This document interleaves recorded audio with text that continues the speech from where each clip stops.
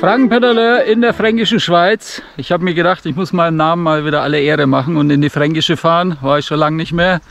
Und ich befinde mich hier gerade im Drobachtal. Das ist einer der schönsten Felsen hier, ein Kletterfelsen, recht beliebt hier, auch zum Wandern. Viele Ausflügler aus Nürnberg kommen gerne am Wochenende hier raus.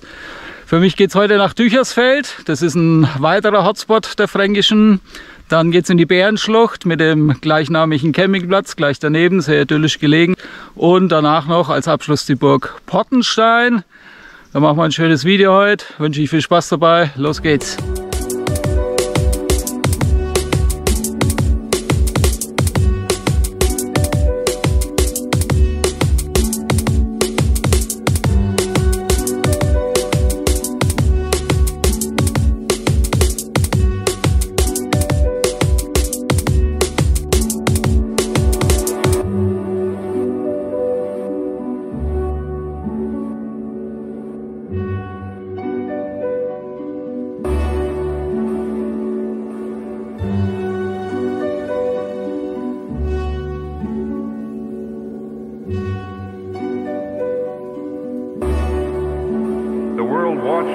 Thank.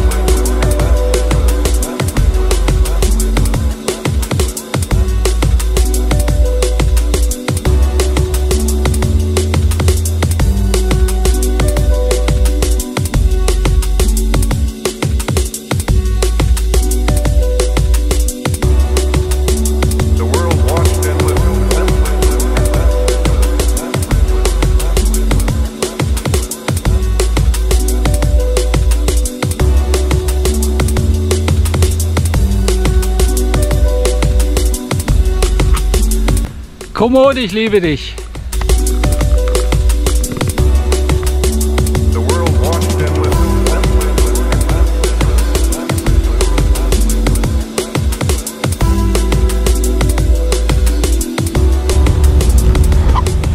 So, ich habe es geschafft hier den, den Weg runter.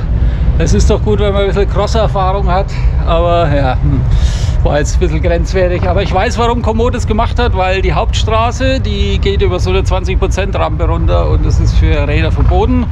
Und deswegen äh, hat er mich hier durch den Wald so eine Ausweichroute entlang geschickt. Aber ist ja alles gut gegangen. Die Motorradfahrer sind auch schon alle da unten im Tal. Juhu. Äh, ja, schön beschaulich, ruhig. Und man sieht auch schon den Felsen von Tüchersfeld hier. Da ist er. Und vielen Dank an die heilige Maria Gottes, dass er mir beigestanden hat, dass ich hier runterkam. Los geht's zum Felsen.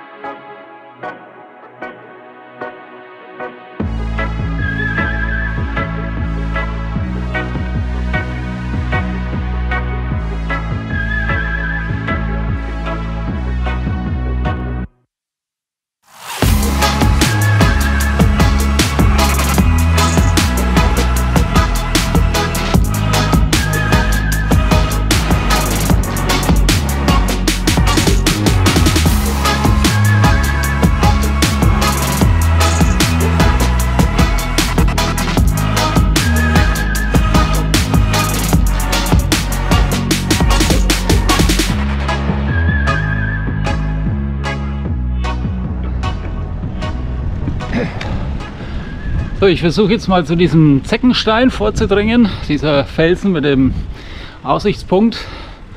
Mit dem Rad werde ich da nicht hochkommen, aber ich versuche mal so weit wie möglich äh, an den Einstieg zu kommen und den Rest werde ich dann laufen.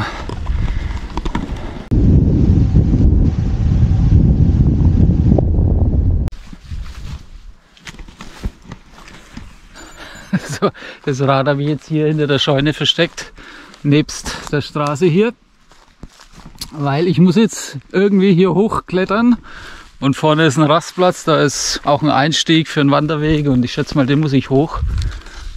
Aber ja, ansonsten habe ich keine Chance hier irgendwie hochzukommen. Mit dem Rad schon gleich gar nicht. Ich denke mal, das ist ein ganz guter Platz jetzt hier. ich hoffe, es ist noch da, wenn ich wiederkomme. Wenn nicht, dann ja, muss ich mir halt ein neues Rad wieder kaufen. also los geht's.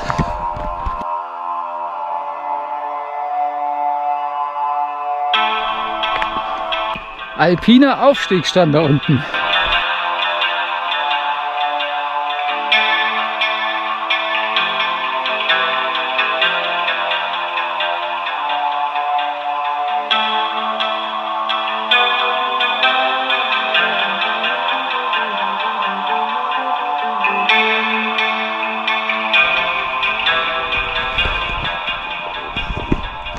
Frankenpedale ist etwas verwirrt, weil wir haben jetzt den Gipfel quasi erreicht oder das Joch, was dieses hier darstellt.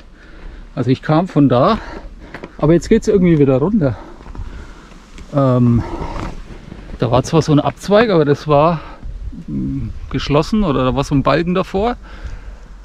Äh, jetzt gilt's Frankenpedaler Explorers. Jetzt müssen wir mal schauen, ob wir da vielleicht durchhuschen können. Weil runter möchte ich jetzt eigentlich nicht. Ich wollte eigentlich hoch. Ich latsche ja nicht hier hoch, dass ich dann hier wieder runter laufe. Also wir gucken uns das mal an hier, ob man vielleicht da durch kann. Verbotenerweise. Mal schauen wir halt einmal.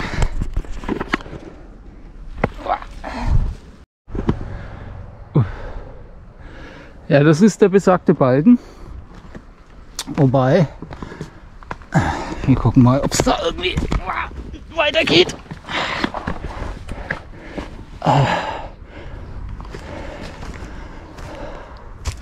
Ist das vielleicht der alpine Aufstieg dann?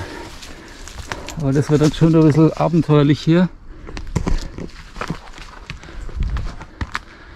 Oh, das kann ja nicht der offizielle Weg sein. Da muss es ja, da gibt es ja, da gibt es doch irgendeinen Weg hoch.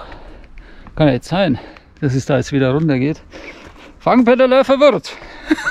Aber es ist der einzige Weg hier. Der geht hier wieder runter. Vielleicht geht es dann irgendwo weiter unten nochmal hoch. Wir schauen uns das mal an. Hallo. Hallo. Geht es denn da irgendwo nochmal hoch? Ja. Schon, weil es ja. hier wieder runter geht, komischerweise. Runter und dann oben. Und dann wieder hoch. Ah, okay, danke.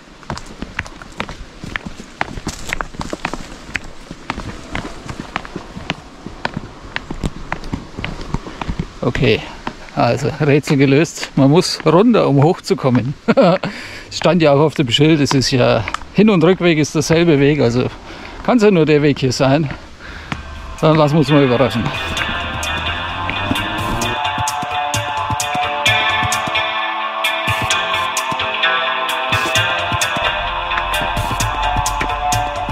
Jetzt wird es abenteuerlich.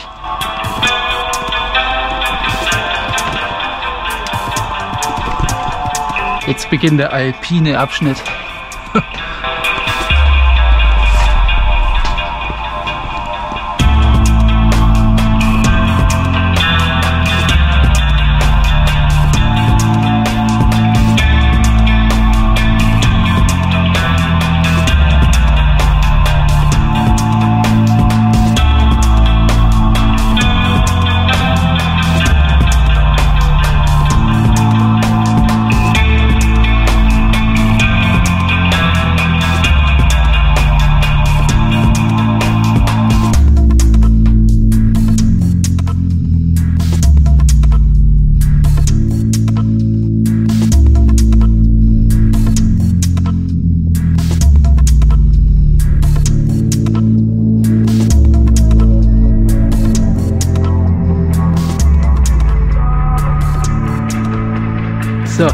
Made it. Hat sich gelohnt. Wunderbarer Ausblick. Ich war noch nie hier oben. Ich bin immer nur unten hier an der Straße entlang gefahren im Tal. Schaut es euch an. Wunderbar.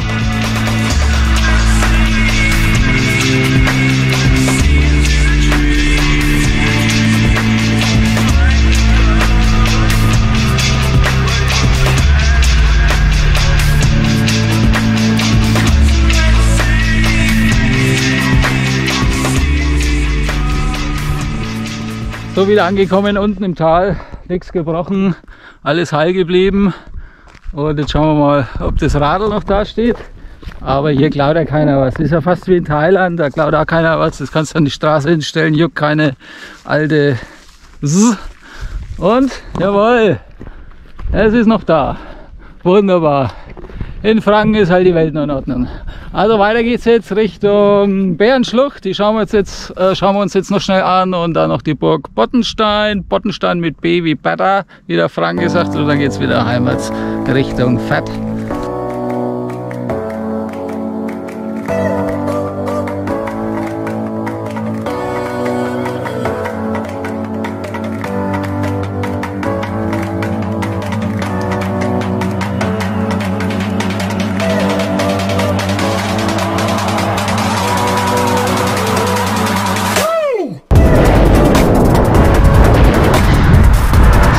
Paar Kilometer weiter sind wir schon an der Bärenschlucht. Da drüben ist der Campingplatz.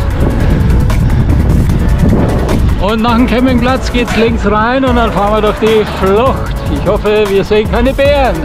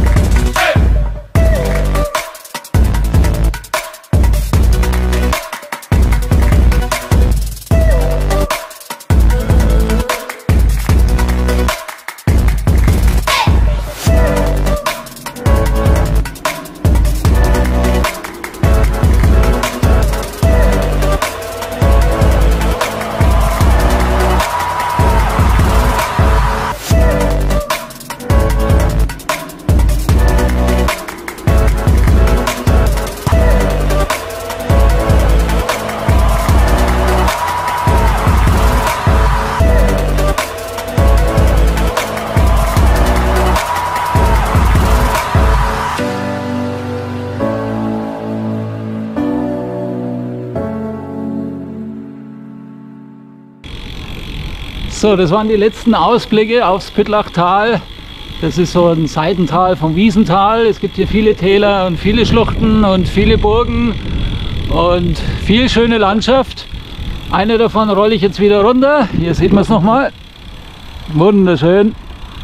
Es geht für mich jetzt wieder Richtung Heimat, denn oben, als ich ankam, bin ich noch kurz in den Burghof und als ich ihn verließ, haben sie hinter mir die Tore geschlossen. Das war das Zeichen für mich, das Video geht zu Ende. Und dann ja, verabschiede ich mich. Ich hoffe, es hat soweit gefallen. Gebt mir einen Daumen, abonniert den Kanal und schaltet beim nächsten Mal wieder ein. Bis dahin, ciao, ciao.